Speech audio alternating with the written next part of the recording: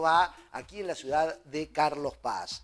32 grados la temperatura a esta hora. Algunos de los mensajes que van llegando dice, hola, quiero participar por los sorteos. Soy Rodrigo, terminación del documento 743. Esto se va leyendo al instante. Vos sabés que Rodrigo, mira, había hecho una caricatura, ¿eh? no sé cómo la hizo, con alguna, alguna de las aplicaciones, eh, una caricatura mía. Se lo voy a pasar al WhatsApp, así la después la, vamos a mostrar. Ahí se lo... Ah, sí, oh, estoy perdido entonces. Acá me dice... A eso se lo paso a Lautaro Varela, fíjate, ella, mira, chequeala, ¿eh? Fíjate si, fíjate si esto está chequeado, ¿eh?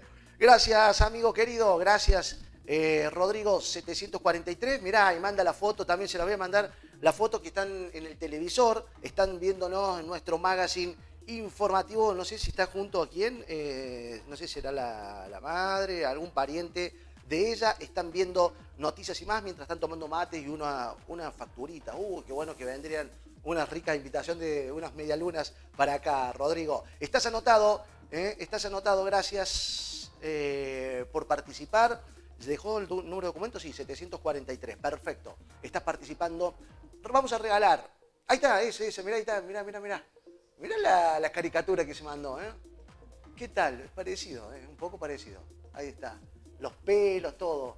Eh, y, se puede ver la foto donde está la, creo que la madre, no sé quién, están viendo el programa eh, de Noticias y más, disfrutando de unos mates, mientras, ahí, está, mirá, qué bueno, eh, qué bueno que nos manden estas fotos mientras hacemos nuestro programa en vivo y en directo. Un saludo grande para vos, Rodrigo, a tu familia y a toda la gente que nos está siguiendo a través de la pantalla de Canal 2, Carlos Paz Televisión. Vamos a meternos en una de nuestras entrevistas, atento porque ¿qué va a pasar con la ola de calor? ¿Hasta cuándo va a persistir? ¿Se vienen las lluvias? Y algunas de las recomendaciones. Estamos hablando con Marcelo Madelón, él es meteorólogo, él es licenciado en medio ambiente, nos va a dar algunos detalles de este calor que está azotando a gran parte de la República Argentina. Marcelo, querido, ¿cómo estás? Buena mañana, gracias por atendernos. Hola Jorge, ¿cómo estás? Bien, bien. Eh, realmente estamos eh, ocupando en este momento en, en el aeropuerto Córdoba el segundo lugar en el ranking de temperatura. Ustedes tienen 32 grados allá, bueno, acá en el aeropuerto de Córdoba tenemos más de 36. Este, con lo cual estamos esperando que el calor hoy se manifieste con una máxima en la ciudad de Córdoba de 39 grados y además la humedad es muy baja, en este momento tenemos 11% de humedad, con lo cual calor y humedad, eh, perdón, calor y sequedad, más un poco de viento norte, son una combinación eh, bastante eh, complicada a la hora de pensar en nuevos incendios, ¿no? Marcelo, hay que destacar también que empezó ayer esta intensa ola de calor, digo, bien intenso, fuerte, y va a continuar, eh, si mal no tengo entendido, es que va a ser hasta el viernes por lo menos, donde se esperan algunas precipitaciones, pero también la amplitud térmica eh, no es tan amplia, valga la redundancia, digo, porque por la noche las temperaturas siguen siendo altas, 18, 19, hasta 20 grados, ¿no? Eh, bien, justamente a la inversa, yo creo que hay una gran amplitud térmica, por eso podríamos decir que no es una ola de calor, sino que es una semana de calor. Nosotros por lo menos en horas de la mañana acá en Córdoba hemos tenido temperaturas muy agradables. En el aeropuerto de Córdoba hacía 14 grados eh, esta mañana cuando antes que saliera el sol, unos 18 grados en el centro de la ciudad. Entonces, ¿a qué le llamamos ola de calor? En definitiva, no solamente cuando las máximas son altas, que en este caso lo son, sino cuando las mínimas son elevadas y que no está ocurriendo justamente porque nos está faltando humedad. Cuando hay humedad, las mínimas suben y además también sube la sensación térmica. A partir de ese momento, después de varios días de calor, tanto en máximas como en mínimas, podríamos decir entonces sí que estamos frente a una ola de calor. Por ahora eh, podríamos hablar de una semana de temperaturas máximas elevadas y tal cual lo decías vos, a partir del viernes una serie de tormentas y chaparrones que se van a prolongar durante el fin de semana y también los primeros días de octubre van a dar fin a este calor, por lo menos a las temperaturas máximas tan extremas que estamos teniendo y también vamos a darle la bienvenida a un periodo de lluvias que nos está haciendo falta. ¿no? Seguro que sí. Eh, Marcelo, eh, ¿se va a considerar, se puede considerar como el día más caluroso de lo que va del año o, en enero hemos tenido mucho más calor? No, no, tuvimos un, un, verano muy fresco en Córdoba. La temperatura máxima de enero del 2021 había sido de 34 grados y medio y ayer ya la superamos ampliamente con los 38 que tuvimos en Córdoba. Con lo cual, si hoy hace 39, como tenemos pensado, posiblemente sea entonces, hasta el momento, el día más caluroso del año. De no ser así, el de ayer fue el día más caluroso, pensando siempre en la temperatura máxima que tuvimos, ¿no?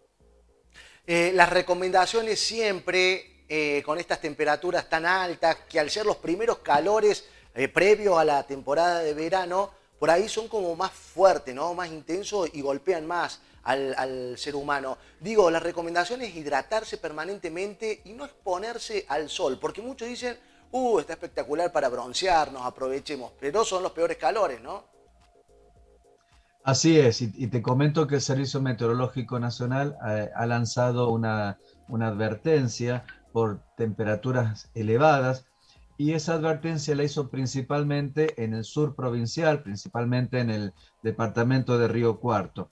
Y hay que tener en cuenta siempre que frente a, temperaturas elevadas, lo más importante es hidratarse mucho, resguardarse en los momentos de temperaturas elevadas en la sombra y en especial a personas em, que, eh, que, están eh, o superando los 60 años de edad o a, bebés y niños de, muy corta edad.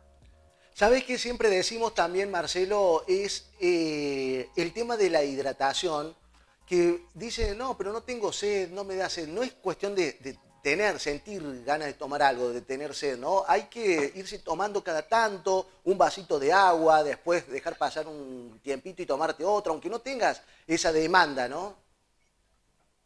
Así es, justamente la deshidratación suele ocurrir en personas que no tienen la necesidad de tomar agua, entonces este, se, se deshidratan con mayor eh, facilidad, entonces lo que tendría que hacer uno es obligarse a tomar el líquido cuando estamos en presencia no solo de este calor que, en horas de la tarde es agobiante, sino también frente a esta sequedad que le quita a nuestra piel una mayor cantidad de humedad. Eh, Marcelo, bien sabemos vos sos licenciado en medio ambiente, pero muchos empiezan a culpar de estas, de estas, por ejemplo, ola de calor o semana con temperaturas muy elevadas al tema del daño ambiental que se produce a nivel mundial y demás. Eh, ¿Esto se puede deber a todo, a todo esto o no coincidís en ese sentido, Marcelo? Eh, yo, por un lado, sí, soy consciente y que hay un daño ambiental y cada día está peor, estamos contaminando la atmósfera, las aguas y, realmente tenemos que tomar rápidamente cartas en el asunto. En eso estoy totalmente de acuerdo y creo que el ser humano no está haciendo prácticamente nada y aquellos que están haciéndolo este, no ven todavía los resultados positivos. Pero eso no significa que cada vez que tengamos frío, tengamos calor, tengamos lluvia, tengamos sequía, le estemos echando la culpa a la intervención humana. Por ahí la intervención humana lo que hace es agravar las situaciones de, de, sequía, las situaciones de, inundaciones. Por ejemplo, nosotros en Córdoba ya hace muchos, muchos años que tenemos incendios, muchísimos años. Sin embargo, no hay reforestación. Es decir, eh, nosotros no podemos quedarnos a, simplemente ponernos a llorar por un incendio que arrasó con un bosque. Hay que volver a plantar ese bosque, hay que comenzar a torcer el destino que tenemos, que es, la, que es el desierto, porque ese es nuestro destino si seguimos quemando y arrasando con los bosques. ¿Por qué? Porque el bosque en un momento de sequía nos va a preservar la humedad, en un momento de extremas lluvias nos va, eh, la escorrentía o las grandes crecientes las va a mitigar. En momentos como hoy de calor también va a refrescar. Y así podemos hacer una suma relacionada con la, con la este, meteorología y, también con, todo lo que es el, el biosistema.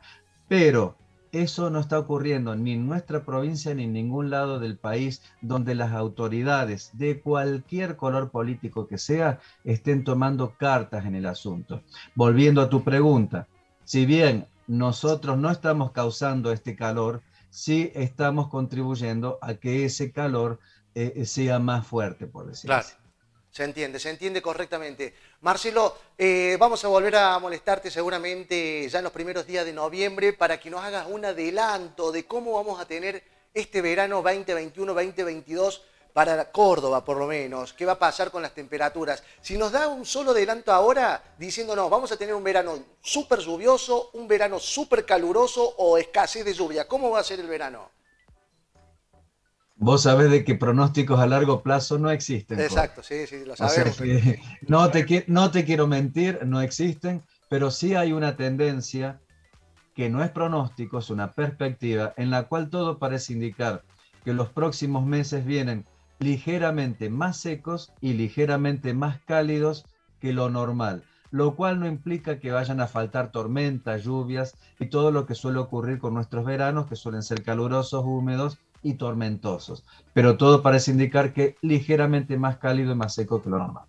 Marcelo querido, muchísimas gracias por este contacto, por la espera y seguramente en noviembre vamos a volver a molestarte desde producción. ¿eh? Que tengas un excelente día y la recomendación a hidratarse con estos calores que van a continuar hasta el viernes. Buen día, Marcelo. Un abrazo, hasta luego, Jorge. Hasta luego. Ahí estaba, ¿eh? Marcelo Madelón, pronosticador, meteorólogo, licenciado en medio ambiente, dándonos los detalles de esta, él no le llama ¿eh? ola de calor, dijo justamente por la amplitud térmica que hay. Le denomina eh, semana de altas temperaturas, muy calurosas por cierto, y hoy sería el día más caluroso de este 2021, porque en enero, nos dijo él, la máxima habían sido de 34 grados 5, lo, lo más alto que hubo en el mes de enero en pleno verano aquí en Córdoba. Bien, cambiamos de tema, vamos a trasladarnos a un tema polémico, por cierto, que causó debate y que